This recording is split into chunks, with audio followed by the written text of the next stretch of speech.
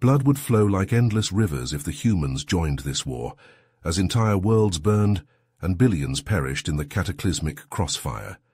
Harry Scott felt the immense weight of that horrific possibility as his shuttle touched down on the Benzite homeworld. His Benzite liaison Hydrus greeted him, serpentine body tightly coiled with uncharacteristic anxiety. Thank the stars you're here, Hydrus hissed, glancing over his shoulder as he hurried Harry to a waiting transport. As they sped toward the capital, Hydrus's voice dropped to a whisper. The Krull are coming. Those cruel bastards are infamous for conquering worlds and enslaving populations. Now they want our resource-rich system. His clawed hands trembled. Our only hope is an alliance with you humans. Your advanced weapons and legendary battle prowess could turn the tide. Hydrus paused, gulping. But many fear that human involvement will escalate the war beyond imagining. You're known for aggressive tactics, uncompromising brutality. The towering government building loomed ahead as Hydrus turned to Harry, desperation etched across his scaly features. Please convince the Council we need your aid, but also that you'll show restraint. If humans fight in this war with your usual ferocity, I fear none of us will survive the fallout. Entire species could be wiped out. Harry nodded solemnly. The Benzite's fate now resting heavily on his shoulders as they entered the building. He knew the humans had to succeed here in forging peace, or the consequences for the galaxy would be incomprehensibly dire. The doors groaned open, revealing a dimly lit chamber. A dozen reptilian eyes turned to fix on Harry as he entered alongside Hydrus. The circular table at the center was surrounded by Benzite officials, their postures stiff with apprehension. Harry took his seat, the chair creaking beneath him. The council leader, an aged Benzite with a jagged scar across his crest, began to speak. His voice was low and raspy, each word weighted with fatigue. The Krull have pushed further into our territory, he said, his clawed fingers tapping against the table's surface. Another outpost gone, supplies taken, lives lost. Harry leaned forward, his mind already whirring with possible strategies. Infiltration, sabotage, a coordinated strike on their command ship. Each plan carried its own risks, its own potential for catastrophe. Suddenly the chamber doors burst open. A young Benzite stumbled in, his scales ashen. A Krull warship, he gasped, in orbit. They're demanding our surrender, unconditional. The room erupted into chaos. Some councillors shouted for immediate capitulation, insisting that resistance was futile. Others pounded the table, calling for a preemptive strike before the Krull could land their forces. Harry stood, his chair scraping against the floor. The room fell silent. We feign surrender, he said, his voice steady. Draw them in close. Then, a team of my best operatives slips aboard their ship and disables their weapons from within. Murmurs of dissent rippled through the council. The plan was bold, risky. But Hydrus spoke up, his voice cutting through the doubts. It's our best chance, he insisted. We avoid all-out war, but still strike a blow. Harry's people have the skills we need. As the council deliberated, Harry felt a cold sense of unease settling in his gut. He turned to Hydrus, his voice low. There's more to this. The Krull's aggression, their timing, it doesn't add up. Hydrus glanced around nervously, then leaned in. There are whispers, he breathed, of a third party, a puppet master pulling the strings. Some say human, some say something else. But whoever they are, they want this war, and they'll do anything to see it happen. Harry's blood turned to ice in his veins. If Hydrus was right, then this went beyond a simple border skirmish. They were pieces on a chessboard, moved by an unseen hand. The council's voices grew louder, more urgent. A decision was being reached. Harry knew his plan would be greenlit, that wheels would start to turn. But as he looked out at the faces around him, frightened, desperate, resolved, he couldn't shake the feeling that they were all hurtling towards something they couldn't begin to understand. That in the shadows beyond the stars, something was watching, waiting, and so very, very hungry. With the Council's reluctant blessing, Harry assembled a crack team of human operatives, each hand-picked for their unique skills and unwavering loyalty. They boarded a Benzite shuttle, ostensibly a diplomatic envoy, but beneath the veneer of diplomacy, they were a coiled spring ready to strike at a moment's notice. As the shuttle approached the looming Krull warship, Harry felt a growing sense of unease, like a cold hand gripping his spine. The vessel was a behemoth, bristling with weapons and armored plating. It hung in space like a predator, waiting to pounce. The shuttle docked with a metallic clang, and the team was greeted by a phalanx of Krull soldiers, their faces hidden behind dark helmets.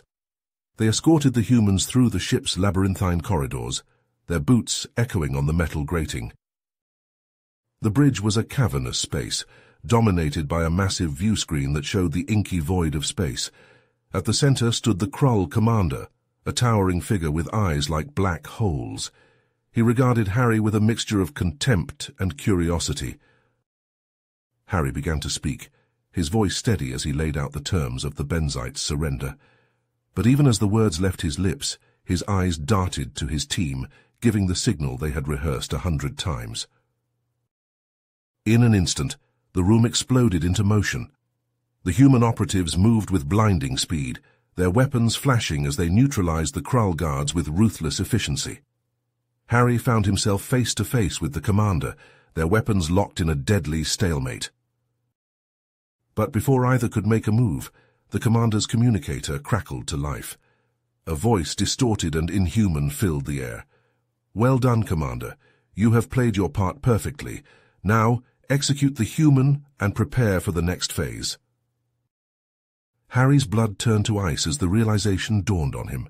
The Krull were not the true enemy, but merely pawns in a much larger game. The commander's finger tightened on the trigger, his eyes gleaming with a fanatic's zeal. Suddenly the doors to the bridge burst open, and Hydrus charged in, his scales glistening with sweat. He had followed Harry's team, unwilling to let them face the danger alone, with a cry of desperation, he lunged at the commander, grappling for the weapon. A shot rang out deafening in the confined space. Hydrus staggered back, a dark stain spreading across his chest. He crumpled to the floor, his eyes wide with shock. In that moment of distraction, Harry seized his chance. He disarmed the commander with a brutal twist, sending the weapon clattering to the ground. He hauled the Krull to his feet, his grip like iron. Talk, Harry growled, his voice low and dangerous. Who is behind this? What do they want? The commander laughed, a harsh, grating sound. You have no idea what you're up against, human. The Overseer sees all, knows all. He has been planning this for centuries, moving pieces on a galactic chessboard, and now the endgame begins. Harry's mind raced as he processed the implications. An unknown mastermind, manipulating events from the shadows, a war that threatened to engulf the galaxy in flames, and at the center of it all, a figure known only as the Overseer. With the Krull warship under their control, Harry knew they had to act fast. They had to find this Overseer to unravel the web of lies and deceit before it was too late. The fate of not just the Benzites, but of every species in the galaxy, hung in the balance. As he looked down at Hydrus's still form, a cold determination settled over Harry. No matter the cost, no matter the sacrifice, he would see this through to the end. He would find the overseer and bring them to justice, even if it meant walking into the very heart of darkness itself. Back on the Benzite homeworld, Harry and his team hunched over a sea of datapads, their eyes bloodshot from exhaustion. They combed through intercepted transmissions, decrypted communiques, anything that might shed light on the Overseer's endgame. As Harry scrolled through yet another intelligence report, a pattern began to emerge. References to destabilization, mutual destruction, power vacuum.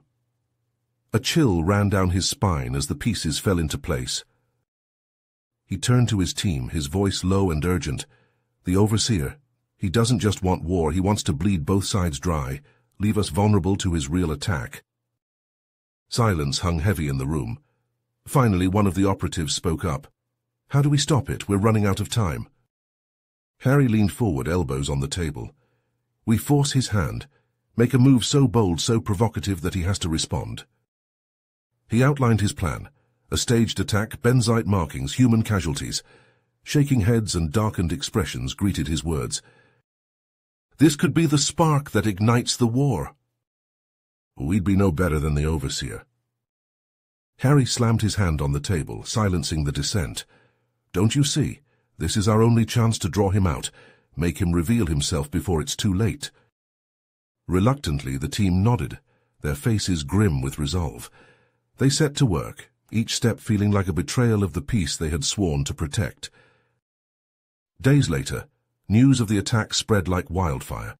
Grainy footage of Benzite ships, smoking ruins of human settlements, outrage and calls for vengeance echoed from every corner of human space.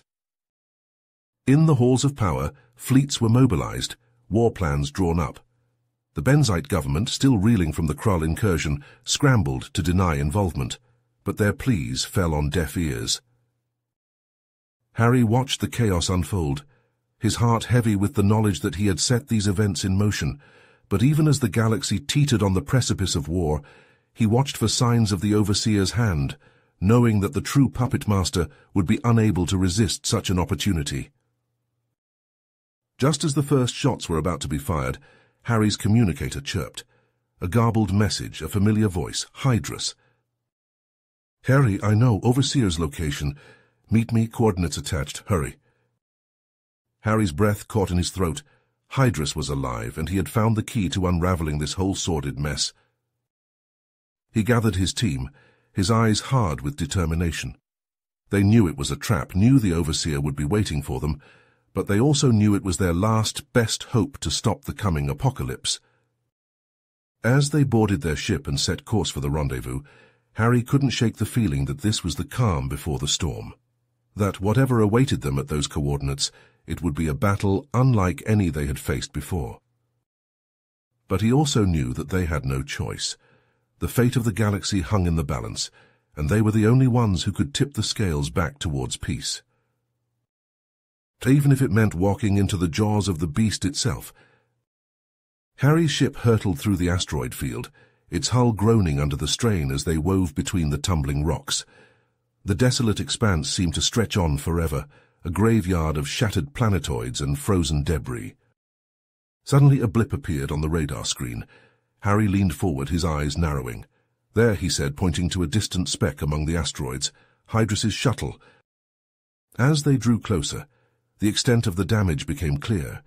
The shuttle's hull was pockmarked with scorch marks and gaping holes, its engines dark and lifeless. Harry's team exchanged grim looks as they maneuvered their ship alongside the crippled vessel. The airlock hissed open, and they stepped into the shuttle's dim interior. The air was stale and thick with the acrid scent of burned wiring. They found Hydrus slumped over the controls, his scales dull and his breathing shallow. Harry knelt beside him, gently lifting his head. Hydrus's eyes flickered open, unfocused and glazed with pain. Harry, he rasped, his voice barely above a whisper. The Overseer... He's... Hydrus broke off, coughing weakly. Harry leaned closer, his heart pounding. Who is he, Hydrus? Who's the Overseer? With a trembling hand, Hydrus reached into his tunic and pulled out a small data drive. He pressed it into Harry's palm, his claws leaving shallow scratches on Harry's skin. A human, Hydrus whispered, his voice fading. A general, gone mad with power, the evidence, it's all there. Hydrus shuddered, his eyes rolling back in his head. Harry gripped his hand tightly, feeling the life drain from his friend's body. Hydrus, stay with me, he pleaded, but it was too late. Hydrus went limp, his final breath escaping in a soft sigh. Harry bowed his head, grief and rage warring in his heart. The overseer, a human, one of his own kind, responsible for so much death and suffering. Suddenly an alarm blared through the shuttle. Harry's head snapped up, his eyes widening in shock. A massive warship had just decloaked nearby, its hull bristling with weapons and shielding. The Overseer's flagship. Harry stumbled back to his own ship, barking orders to his team. They were outgunned and outmatched, but they had to try. They had to stop the Overseer, no matter the cost. As the flagship bore down on them, its weapons glowing with deadly energy, Harry made a decision. A desperate, impossible gambit. Ram the reactor, he said, his voice steady despite the fear churning in his gut. We'll take that bastard down with us. His team hesitated for only a moment before springing into action. They poured every ounce of power into the engines, aiming their ship directly at the flagship's pulsing core. The impact was cataclysmic. The two ships collided in a blinding flash of light and heat, metal screaming and twisting as they tore into each other. Harry was thrown from his seat, his body slamming against the bulkhead with bone-crushing force. Through the haze of pain and smoke, he could see his ship disintegrating around him, consoles sparking and hull plates shearing away into the void. With the last of his strength, Harry dragged himself to the transmission console. His fingers, slick with blood, danced across the keys, uploading the contents of Hydrus's data drive to every corner of the galaxy. As the flagship began to break apart, escape pods jettisoning from its ruined hull, Harry felt a grim sense of satisfaction. The Overseer's plans were exposed, his machinations laid bare for all to see. But even as the wreckage of the two ships tumbled through the asteroid field, even as the last of his life slipped away, Harry knew that this was only the beginning. The Overseer was still out there, a shadowy figure lurking in the depths of space, and as long as he lived, as long as his twisted ambitions went unchecked, the galaxy would never know true peace. It would fall to others now to carry on the fight, to stand against the darkness and the chaos no matter the odds. For in the end that was all they could do, all anyone could do in the face of such relentless evil. Fight and hope and never surrender. You have reached the end of the story. If you enjoyed this story and want to support us, please leave a like and subscribe to our channel, and for every comment that says 88, I will heart every single one of them. Thank you for your time.